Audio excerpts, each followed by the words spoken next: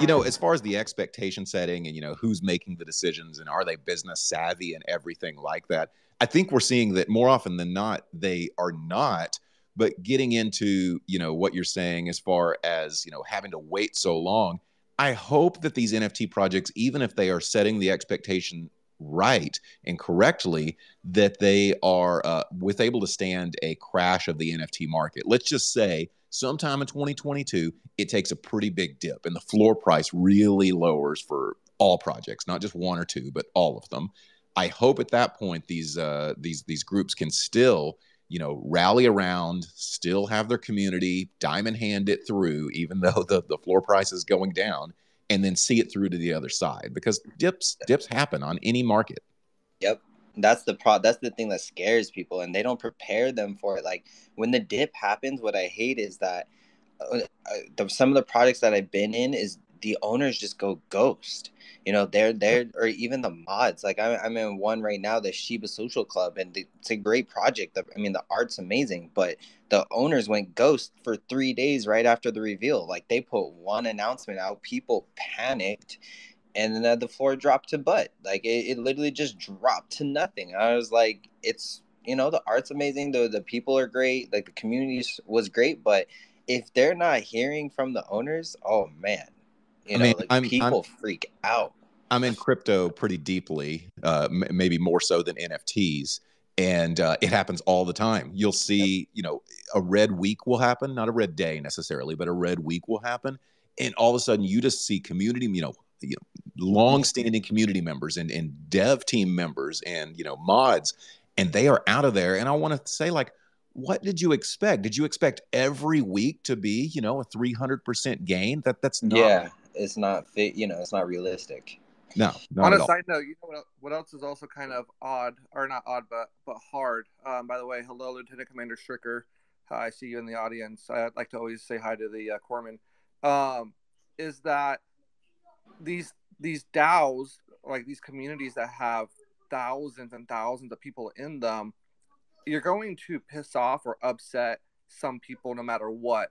Yep. And additionally, if you're like like you said earlier, um, that no one really here in this space has like a business acumen to drive a project. So if you're basing your business acumen on what the layperson in a community is saying, is that really going to be substantial later on? Like, is that going to be something that can last? Like, can you really? We don't know yet, but can you really create a project based upon what the community wants to do if that community doesn't really have a background in business? Man, I've thought that same thing just in in with just trading. Is yeah.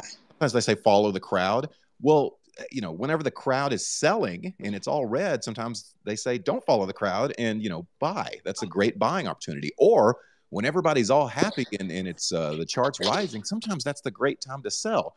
So that gets yep. into business decisions. If going counterculture to what everybody else is doing, or counter, I say, to what everybody else is doing is the right decision. Sometimes in business, I mean, what if everybody wanted, you know, Apple to make foldable phones whenever uh, Samsung started doing that?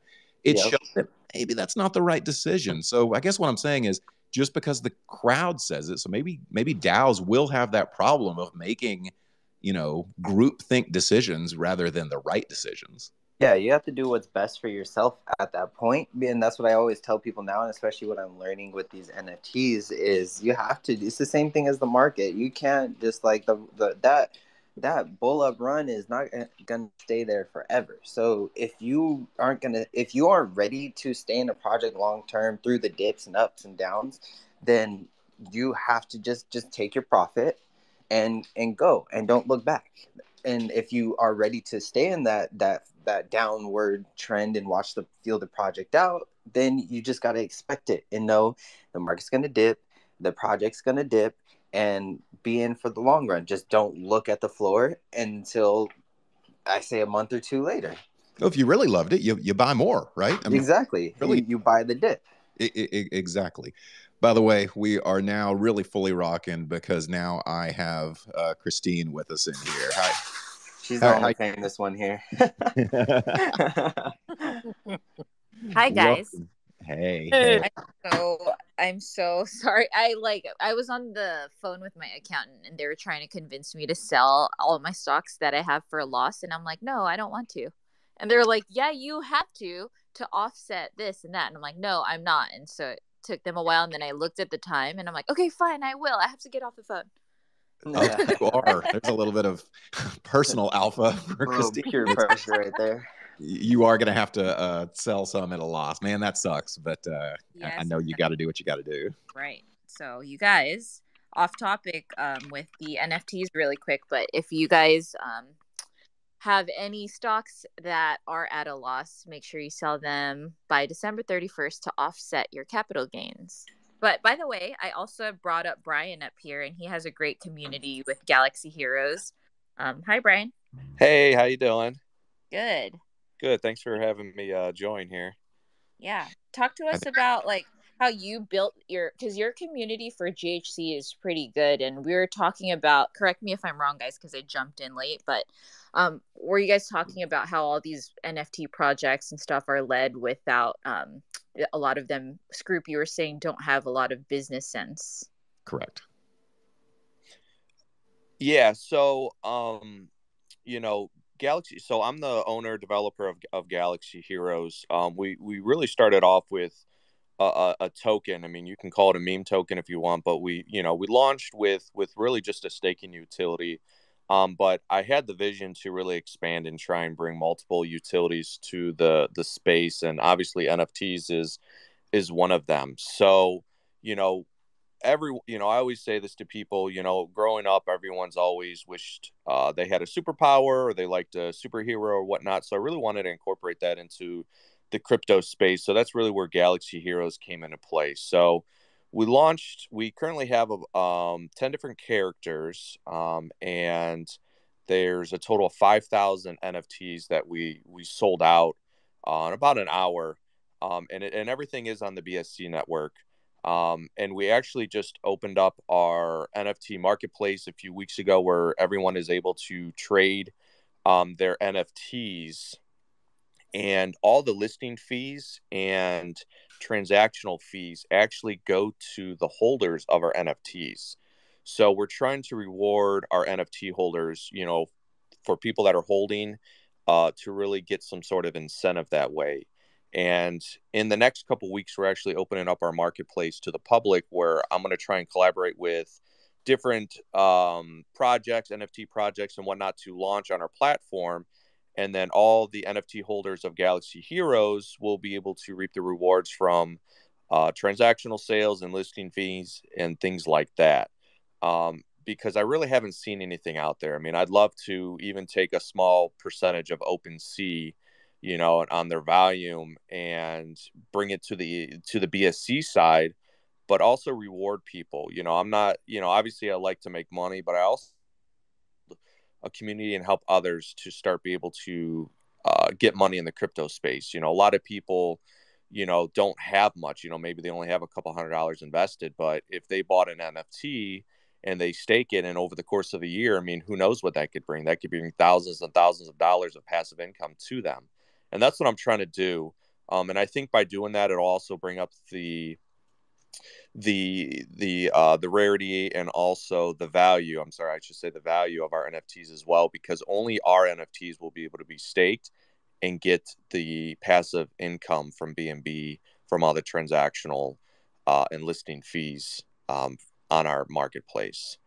Um, and actually, our NFTs also are going to be incorporated on our play to earn game that actually is launching on December 30th in a couple days.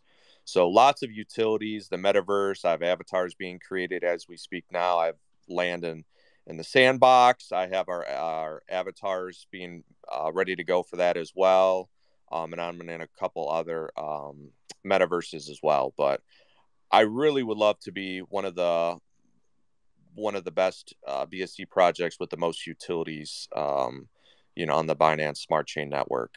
Um, so that is my goal. Um, we we currently are around uh, 40 million market cap on the BSC side and the Ethereum side. I do have a bridge, uh, so both sides are sitting a, a roughly around 40 million market cap right now as we speak.